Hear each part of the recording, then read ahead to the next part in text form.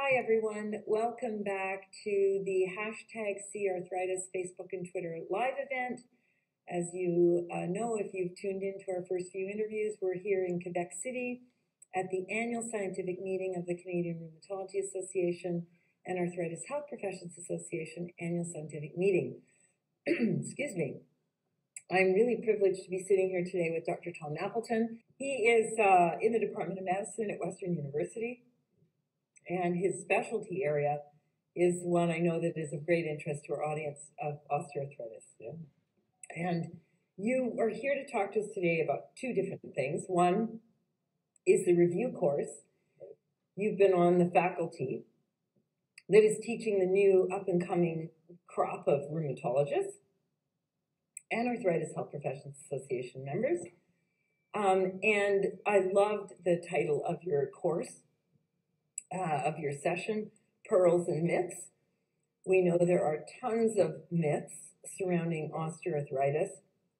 You, as a clinician, uh, may I call you Tom? Please. Okay, thank you.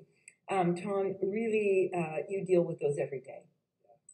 Um, the number one thing a person hears, uh, thinks of when they hear the word arthritis is very likely a myth. So, um, welcome to our booth. It's really a pleasure to have you, and we want to just dive right in there. Tell us about the course itself and the process of training uh, young up and comers, um, and specifically about the course that, that you uh, participated in and led today, or last week rather. Yeah, because it's actually been spread out over quite a few days. Virtual and yeah. in person. We're That's happy right. to be back here in person. Yeah, this year. thank goodness. Yeah, right? exactly, Yeah. exactly. And it's awesome that you guys continue to have the booth, and thanks for having me come into Oh, the we're booth. always thrilled. You're the Yeah. stars here. Well, it's You're nice to stars. be nice to be counted among them, but there are many, and there's a parade coming through. Yeah. I saw a lot out in the hall, and so um, it will probably run close to on time. Yeah, today, excellent, excellent. Um, so yeah, you know, I mean, training uh, the up and coming rheumatologists, uh, and really this is so critical for our workforce going forward, is to have this group of people that are fresh and enthusiastic and able to kind of take the baton from uh, you know a, a rich history of lots of rheumatologists building up what we now take for granted, uh, which is excellent arthritis care in Yeah. Canada. Um, but we have to keep things moving forward. We have to see new developments, and we also need to keep things going that, that have worked really well. So Yeah. that's that's what the review course is about. Uh, is is bringing that content to people who are you know honestly at all stages of training, either looking for a refresher or uh, you know later in their career, just kind of you know trying to catch up on the latest things. Um, and then you know the, the trainees have their own focus day, which is you know was running today. So The pre-course, the right? pre-course, Yeah. exactly. Yeah. So there's there's a huge amount of content. Um, it's great to be involved in that. Um, you know, the, the one that I was involved in last week was run by uh, Dr. Trudy Taylor and Dr. Shahin Jamal. Um, both coasts of the country. Yeah, uh, exactly, Together. So, exactly. so that's great to, Yeah. to see that running year over year. Um, but yeah, I'm talking about about myths and trying to bring some of the pearls. You know, I think of pearls being not just things that are evidence based and goal directed, like we know are effective for, for patients with arthritis, but also how to really tailor it to the individual patient. Right? So how they can action it, how you action it in them, but how they can turn around in their daily lives and action it themselves. That's right. So empowering the patient to be able to do that. Um, and to know when it's a good decision to proceed and when you want to kind of stop and maybe ask for some guidance, either talking to your rheumatologist, to your family doctor, whether it's your other arthritis specialist, you know, physiatry, sport medicine, all, Mhm. all kinds of different people that we interact with throughout the course of our lives with arthritis. And so, you know, it's important that everybody kind of be on the same page that way. Yeah, for sure. So uh, myths, uh, we- we're going to ask you to bust a few of them here Okay. uh, in the booth with us. Um, so, you know, you're seeing patients, you're doing research in this area, have for years. Tom, give us, I don't know, your top three. Yeah, sure. Um, and feel free if you have your, any I'm, I'm going to dive in if them I, yeah, okay. But uh, I'd say probably the, the most common one that I get, and, and this won't surprise you at all, but the most common one that we hear in clinic all the time is, you know, I've heard that I have this wear and tear arthritis. Am I going to hurt my joints? Am I going to make myself worse by exercising or by doing too much in that? And you know, it's a it's an obvious thing to think about because sometimes when you have arthritis, you know, darn it, it hurts, Yeah. right? And it hurts to move sometimes. Uh, but we know from a large number of studies that have been done over literally decades that there is an overwhelming benefit to being physically active, to moving, right? Yeah, And so, you know, over over long, long periods of time, we've seen that benefit play out again and again in many studies, and really no studies that have convincingly shown that there's any detrimental effect of exercise, Yeah. right?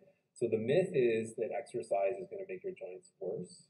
It's it, if anything, it's going to stimulate them and help them try to regenerate, so overall be better. It's going to improve your function.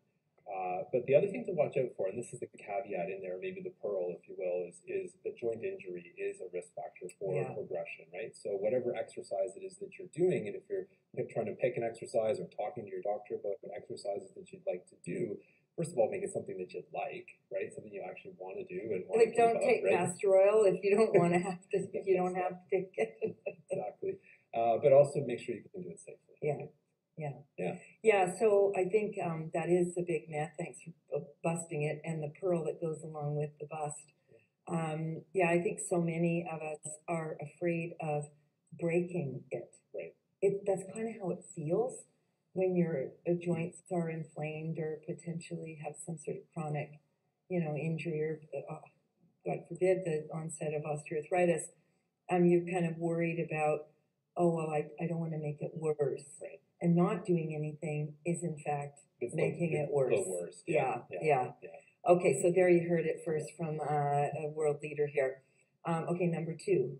Yeah, so there's there's quite a few. Um, I think probably some of the most common myths that we, we hear about are around types of medications or even supplements.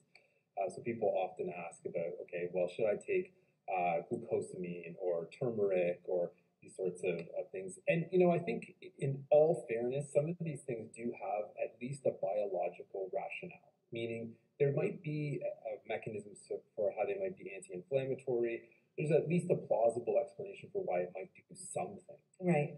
The problem with a lot of them is that the effect is so tiny Yeah. that you just really question whether it's worth spending money on it at all. right? So that's the proposition. It's it's it's actually related to finances right, yeah, in a lot of ways. right. Yeah. And you know, cost of living is always getting higher. We know this. I mean, food prices are crazy right now. You know, you got to make decisions about how you're going to allocate your resources. You know, you want to put it on something that's going to be high value. So Yeah. really think about the concept of cost effectiveness. So if I'm going to pay something, I want to make sure that the value I'm getting back in return is appropriate for that amount of cost I'm putting in. And it may seem like a supplement for a month is not very much money, but over a long period of time, that can certainly build up. So Yeah. we want to make sure the things that we recommend are going to make a meaningful benefit. Are they going to meaningfully improve your pain or function or quality of life, or ideally all of the above? Yeah. Uh, and so, you know, what it, what it turns out is that pretty much most of the supplements that have been studied have, yeah, maybe this much benefit or not at all. Yeah, I think Yeah. there's uh, glucosamine now. The, the, the research is in on on it, um, and I mean, while people may use it, may believe in it, the effect highly likely placebo will have a duration. You know, placebo effect usually has a duration. Yeah. But both here in Canada, I know Dr. Jolanda Cibere did a really elegant trial, early days in, in glucosamine use, Yeah. and then the NIH duplicated it at quadruple the budget, Right. uh, and with really large numbers of patients, and uh, those results were all negative. Yeah. Um, so that's the kind of evidence base that you're pointing at, Tom, which is foundational to the recommendations then that you give your patients. I think a lot of people out in our audience think, well, doctors don't like vitamins and things because it's something we can do on our own and we don't need them. But in fact, your doctor is on your side. Um, they're trying to not only help you uh, and your health, they're also trying to help you manage some of the resources that you may be considering letting go of Right. um, that are really important in your life. I mean, we know there are many benefits to exercise, gym membership. Maybe you trade, it's a trade off. Yeah. Maybe you trade away some of the money you're spending over here where there isn't evidence and you put it over here in the exercise realm. Yeah. Yeah. Anyway, um, okay, number two. Number three, maybe I'm going to throw it at Sure. you. Yeah. Um, we still, we've been around for 23 years now, still here. Well, arthritis is an old person's disease. I might get that when I'm older. And especially that would be true in osteoarthritis. And we now know the evidence is pretty clear that it's not. So, so there's the myth. It's not an, it, it, that it's an old person's disease. So Right. tell us the reasons why we know it's not an old person's disease. Sure. So, so the association with age really comes from big epidemiologic studies that show that, you know, statistically you're going to have more people who have an arthritis as you go up each kind of each decade or however you want to count age, right? Yeah. Relative. Yeah. I don't Um, count it at all, by the way, That's anymore. good. That's yeah. probably the best way, right? just sort of ignore that and just live young. What birthday? I don't have birthdays anymore. Um, yeah, well, COVID kind of did that too. Yeah, Right? Just exactly. Forget about Yeah. time.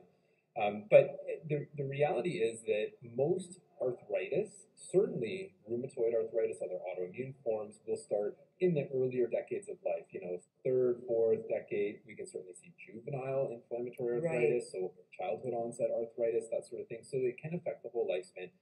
Yes, absolutely, there are cases that onset later in life. That's absolutely true. But statistically, the vast majority of either autoimmune arthritis or osteoarthritis start in sort of the third, fourth, fifth decade, Yeah. right? And people live with these diseases for many years, many decades. And so, sure, over time, you're going to accumulate more cases. That's just the chronology of time. Right. But actually, there's a plateauing after about age 60, 65, and you don't really see a lot of increasing rates after that age. Is that because of uh, pe- people are taking greater risks with their skeletal system maybe during the, the, those earlier years, like we're bike riding and having crashes, or we're playing soccer and we're sustaining an injury that we don't properly rehab?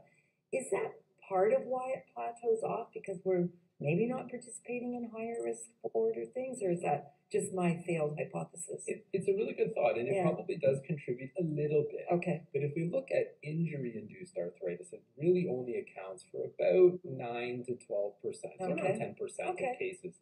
So that probably makes a small impact. Okay. And that's probably really in the sort of teens, early 20s where you're going to see most of those kind of cases arising. Yeah. So it's probably not just that. Okay. And you know, really, what we're seeing most often is the uh, this increasing number of comorbidities that people live with. So what I mean by that is your high blood pressures, your diabetes, the obesity, Obesity, rates, yeah. cholesterol. You know, all of these sorts of things that we accumulate more and more of over time, and those are much more strongly associated Okay. with the risk at that age. So it's probably really that the joints are suffering with these additional things that they're having to deal with other comorbidities and we're starting to learn a lot more now about the risk of arthritis with high blood pressure the risk of arthritis with diabetes and so Yeah, it's a tangled web they weave. it Yeah. really is Yeah. right so you know it almost becomes the straw that broke the camel's back Yeah. after a while so you know really reducing the risk of those things increasing activity you know dealing with those kind of obesity risks and that sort of stuff is really really key and even if that isn't the underlying cause it makes it a lot easier to treat if you can deal with those comorbidities Right. So for our audience, Tom, what I'm, you know, one of the things I latch onto is, oh, if I do this for this thing, I'm actually improving this other thing. things, Yeah. yeah Which is motivational. I mean, Yeah. people sometimes people lack motivation right in actually addressing what's bothering them in terms of health. Um, so there's motivation for you folks. If you tackle one, you're probably tackling a few of these other things as well. a BOGO Exactly, exactly. Um, in our remaining uh, few minutes, Tom, tell us about your current research. What's exciting you today? Is there anything you've learned um, from the research that you've been doing or the research that has been shared here at the meeting so far? Um, how is it changing patients' lives? I mean, that's we're the rubber that hits the road. This audience. Yeah. So uh, you know, tell us what you're doing, but then also say, and this has had impact here, if you can. yeah I know research takes a long time, yeah um, but we're very eager uh, Sure. because if we have a chance to not live in pain, to not live with loss of mobility, we'd rather do that. right Yeah. so there's lots of really exciting stuff that we're, working on and I'd, I'd love to unpack it all but Mhm. just to kind of cover some of the highlights you know i'm a rheumatologist i work on inflammation. That's what we know. It's kind of the language we speak.